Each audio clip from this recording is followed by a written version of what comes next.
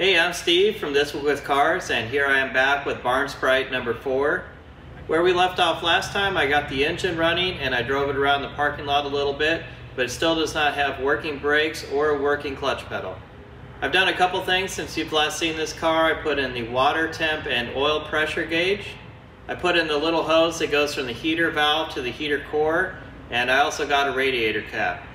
The goal for today is to try to get this car as drivable as possible and as complete as possible. So let's get started. To replace the master cylinders, I like to remove the entire pedal assembly. It's just a lot easier to do it that way.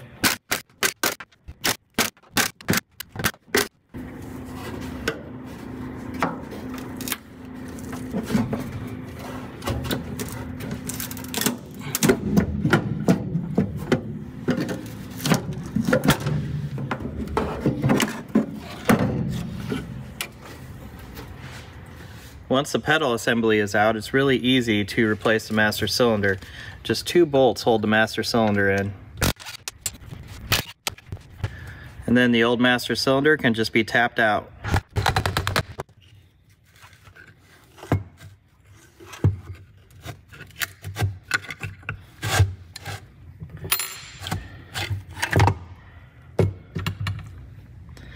Looks like I have some bonus bolts in here sure these were lost a very long time ago. So I'll just get this cleaned out. Putting the new master cylinder in is just a reverse of this process. Just set it in there. Make sure your push rods get into the ports and fasten it in with two bolts. I have the new master cylinder in. Now I can put the pedal assembly back into the car.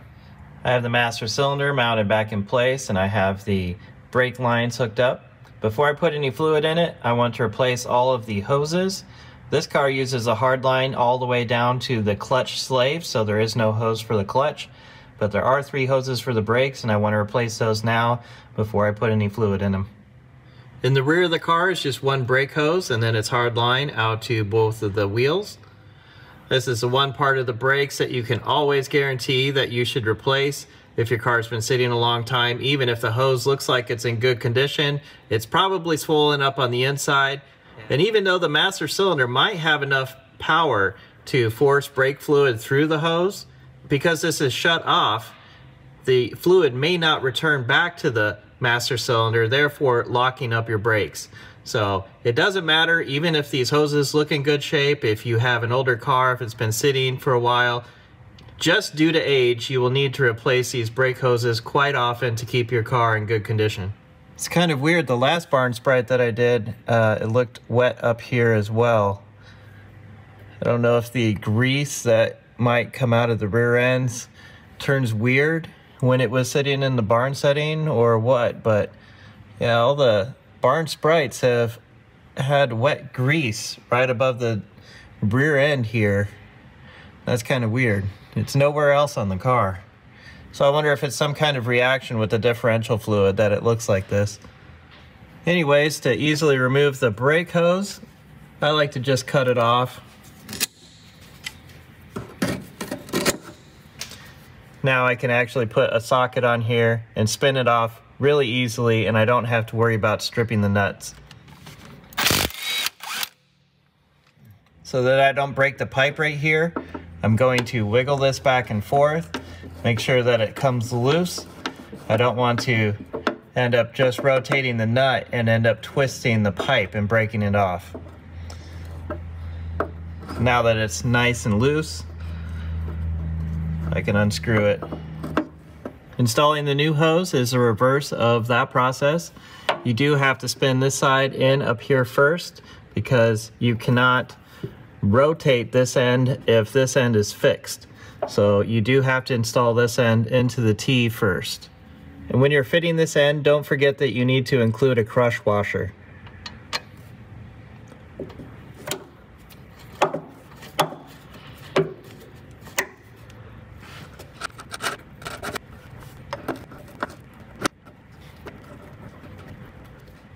Now I can move on to the front two hoses. To do the front brake hoses, I will have to take the wheels off.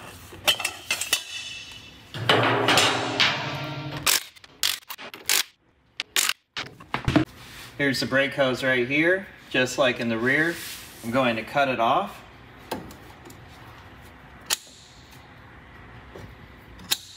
Now the replacement of this hose works the same way as it did in the rear.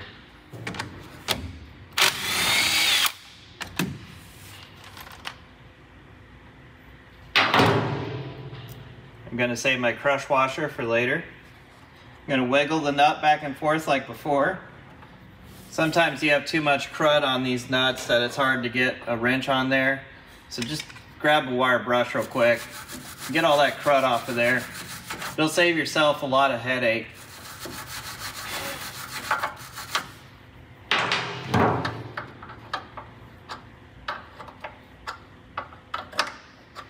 Just like on the rear brakes, you must install the short end first because this threads right into the wheel cylinder. You won't be able to spin the hose if you affix this side first. And don't forget your crush washer.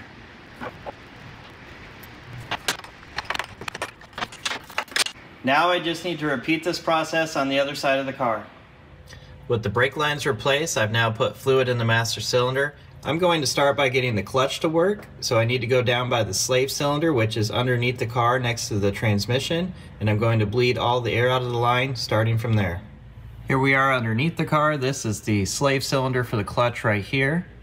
Now the bleeder is on the top of the slave cylinder.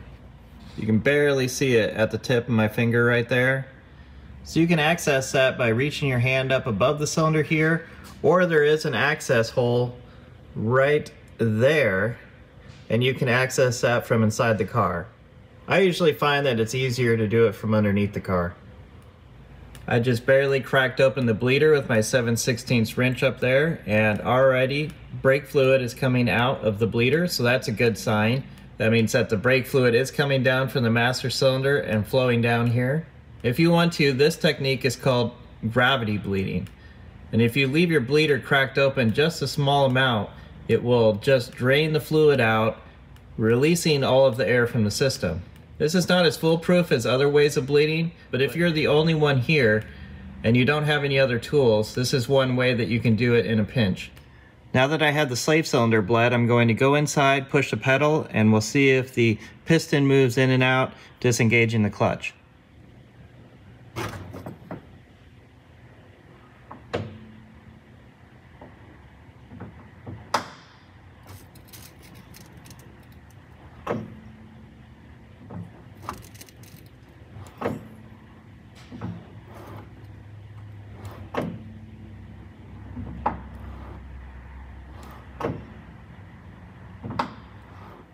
Okay, I think that was working. It first felt like it was maybe getting hung up. Okay, I just went back and looked at the video. What happened is the piston was pushed forward, but since it hasn't been moved in so long, it got stuck in the out position a little bit.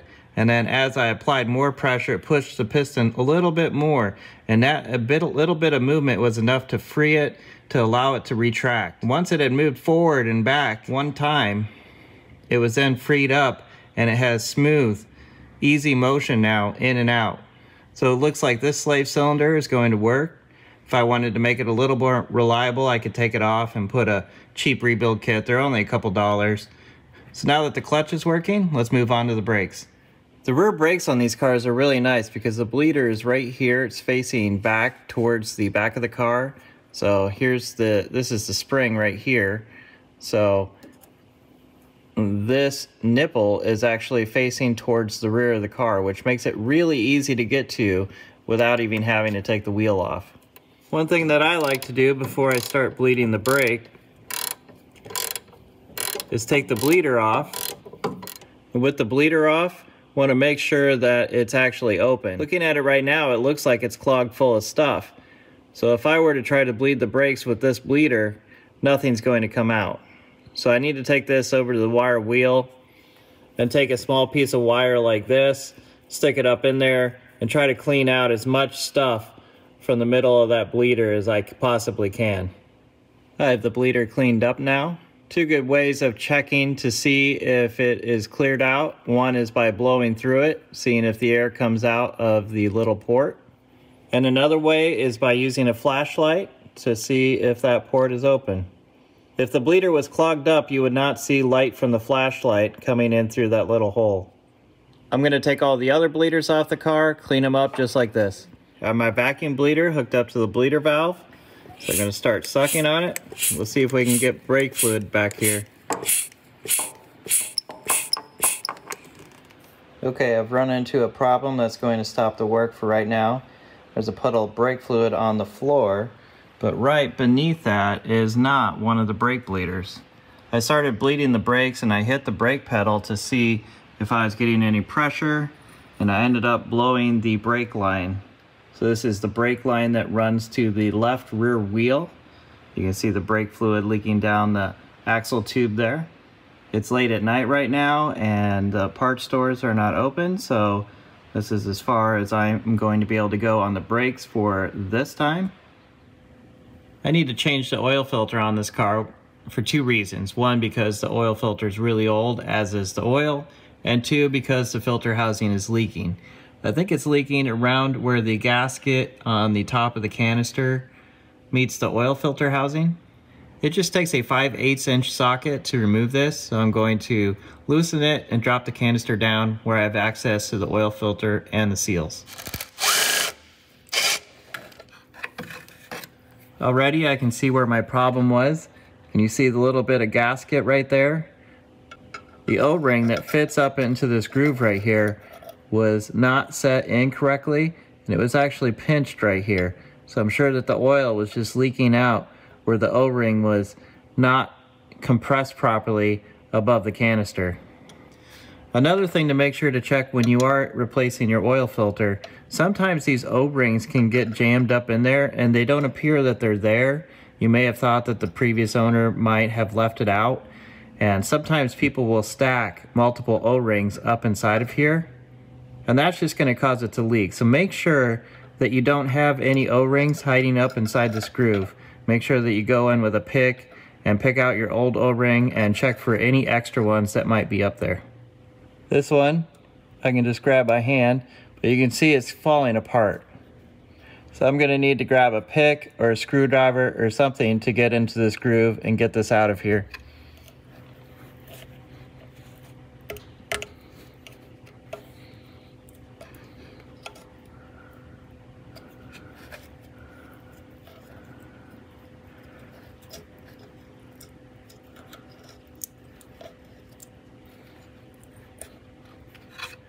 Now I'm gonna take my pick up there, make sure that there isn't any more rubber up there.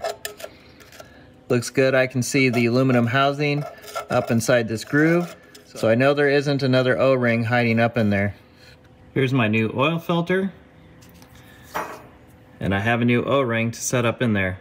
I'm gonna try to put this in place before I set the canister up there.